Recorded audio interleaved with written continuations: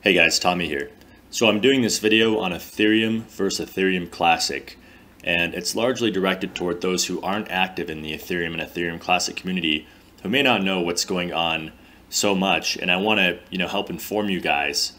Uh, I've been motivated to do this because there was a meetup recently for Ethereum Classic, and I'm sure some of those people who went there don't know too much about Ethereum um, or Ethereum Classic or maybe cryptocurrency as a whole.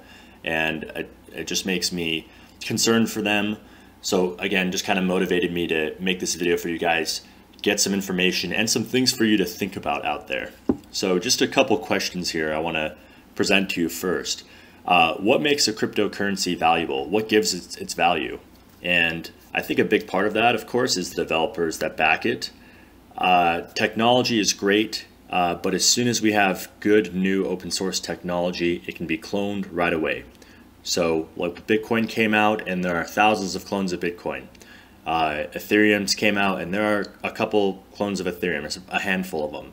Uh, and on that note, with the with all the clones of Bitcoin, there's actually thousands of clones of Bitcoin with market caps less than $10,000.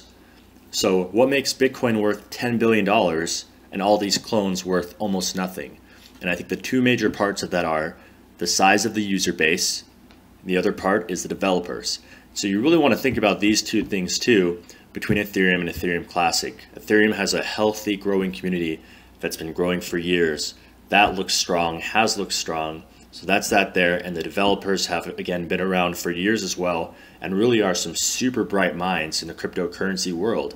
These are some of the things that attracted me to Ethereum. In Ethereum Classic, we have a community that rose very quickly but has pretty much tapered off. You can see the Reddit metrics, which I'll put a link to below, but the community growth has slowed down a ton, and the developers, we don't, you know, they haven't really proven themselves in the cryptocurrency world at large. So we have yet to see what they're capable of. So it's just a big gamble there. Um, and again, I'm a, I'm as an investor, I want especially in this world that's already like the wild, wild west. I want as much stability as I can find. So these are some things that really create uncertainty.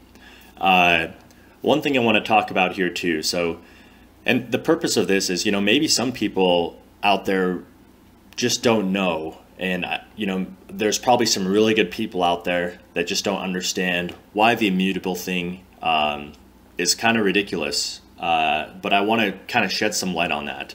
So before Ethereum even came out, I had a vision of, you know, thefts occurring on the blockchain. And in an ideal world, we're able to stop those thefts or prevent them or reverse them. And that is a good thing. That's something that we want. We have a lot of those protections in the real world right now. You know, credit card companies have those, and it's a good thing we don't have to worry about that all the time.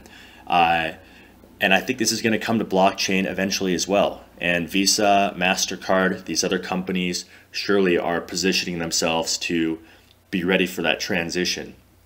Uh, and again, so this is a good thing. Uh, so those blockchains are not going to be immutable.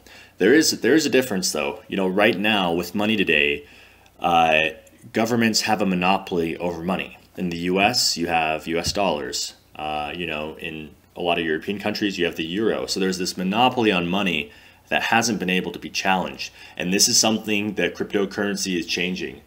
Now there's new sorts of money like Bitcoin, and these are going to grow. We're going to have more options.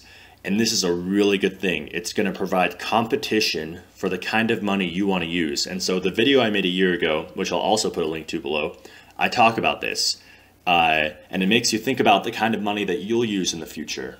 And I think that the kind of money that we'll choose to use in the future is kind of money supported by the whys of uh, the company or the community behind it.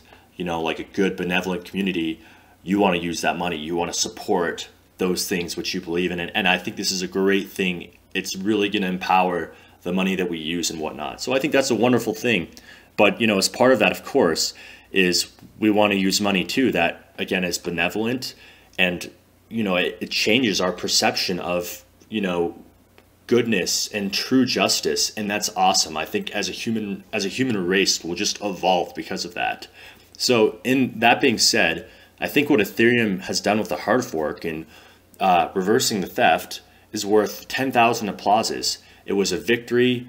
Uh, it didn't affect anyone negatively except the thief. You know, there was no blockchain rollback. I've heard that there was no blockchain rollback. It just it essentially the whole blockchain stayed the same. It just moved the the money that the thief stole back to the investors. That's it. Uh, you know, uh, a rollback is dangerous because uh, it literally rolls back all the transactions. So anyone who's been transacting recently, you know, innocent people would have their transactions reversed. That can be a big complication. This was nothing like that. So this was a tremendous, uh, a tremendously good thing that I think the Ethereum community did. Very applaudable, and gives me faith in the community. Uh, you know, on the other hand, you have the Ethereum Classic community, which basically justifies this theft. And this is something important to me. Again, the intrinsic values of the community, the belief systems.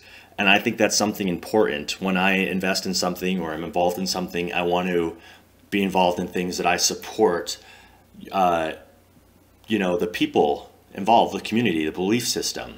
And again, I realize that a lot of people in the Ethereum Classic community probably don't realize uh, the, the fallacy in the immutability argument. But just to, again, give a quick example there, you know, they say code is law and whatnot. So if, you know, code is programmed to kill everyone on the planet, uh, does that supersede all human morality? I would say no.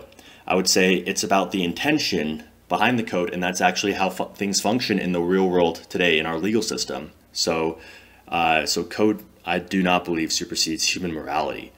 Uh, so yeah, and I think as we go on in the future with the future of money, again, we want morality in our blockchains. We want benevolence, and we want, and, and again, the competition for those companies or whatnot, fighting over providing good benevolence and, uh, and good justice will be a very good thing for us as humans. So uh, also here as an investor, here's a couple things that I want to point out that are concerns for me that I don't know if you guys are aware of. So one is the Ethereum trademark, which if it's enforced, uh, what kind of effect that can have.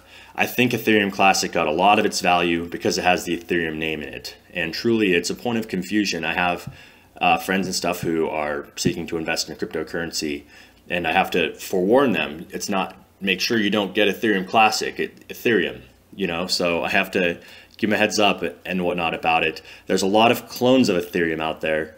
Uh, and these clones, we've got Expanse, Shift, Soil. None of them really have very high valuations. Uh, Expanse is the greatest Ethereum clone out there besides uh, this Ethereum Classic, and it's around 1 to 1.5 million. Shift is worth roughly around 300,000 and Soil is worth about 15,000. These are their total market cap valuations. So what makes Ethereum Classic have so much value? I think it's that the mind association uh, that people think it's similar or like Ethereum, but really, uh, the, as we go on in time, we're seeing more and more of it differentiating.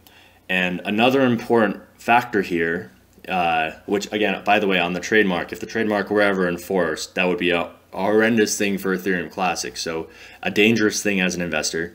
The other thing I want to point out is when Ethereum goes proof of stake, which it's going to inevitably do, how the Ethereum Classic community is going to respond to that. Um, clearly everyone is not going to agree on it. Uh, you know, when Ethereum was doing this hard fork here, it had an 80% consensus. So I'm thinking, well, this Ethereum Classic, are what if they have an 80% consensus for, you know, going proof of stake or staying proof of work? Clearly, not everyone's going to be happy and not everyone's going to agree. And I feel this tearing of the community is going to is very dangerous for the price there too. It can crush the price. So uh, so yeah, those are just some things I'm looking at as an investor, and we're already we're already in a you know playing with high risk investments here. So this is just magnitudes higher risk investment. So really, it scares me. Uh, and one other thing I'll mention too, Ethereum had a uh, a vulnerability today in Geth that was causing a memory leak. It basically caused the hash rate, the security of the Ethereum network, to drop significantly. It wasn't so bad that it was really dangerous, but it was a sizable, it was significant enough to talk about. Uh, luckily, you know, Ethereum developers are really good and they fixed it in less than a day. But I was thinking to myself, what if the hacker found the vulnerability? And because Ethereum and Ethereum Classic have such similar uh, such similar programming, what if they just open the vulnerability on the Ethereum Classic chain? Uh, I'm thinking if the Ethereum developers weren't in a hurry to fix it or didn't fix it, would the Ethereum Classic developers, who again, we haven't seen them prove themselves or anything, would they be able to fix it that quickly? We don't know. Uh, but that would be very scary. It would open it up to a 51% attack. Excuse me, and more so could cause uh, a lot of loss of confidence, which is again very dangerous for the price. So, as an investor, I'm just very, very, very leery of Ethereum Classic, and it's just not an attractive uh, investment for me. But I thought I'd get this out there. I've been seeing a lot of videos on YouTube about Ethereum and Ethereum Classic, and I'm just thinking, dear God, there's people out there who don't even know what's going on there. So I just wanted to share my perspective on it. Uh, you know, of course, do what you guys will. Uh, I just want to, you know, give you guys some information and, you know, give you some food for thought. So uh, that's it for now. If you like the video, of course, hit the like button. And if you haven't yet, subscribe. And I'll see you guys in the next one.